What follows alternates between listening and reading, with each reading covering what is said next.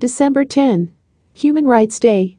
Human Rights Day was the anniversary of the day in 1948 when the United Nations General Assembly adopted the Universal Declaration of Human Rights.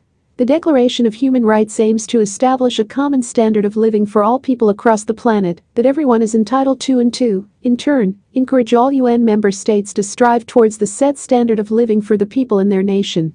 Although the rights are seen as more declarative than legally binding, they are commonly acknowledged to have impacted how human rights are perceived and to be a force for good.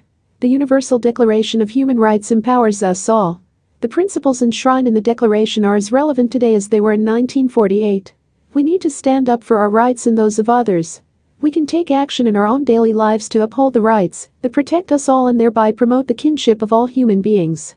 In December 1948, UNESCO was the first United Nations agency to place the Universal Declaration at the heart of all its action, to promote it across the world through education and the media.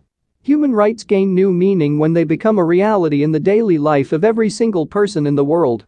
Bringing human rights home is at the core of UNESCO's mission in all its fields of competence, education, science, culture, and communication.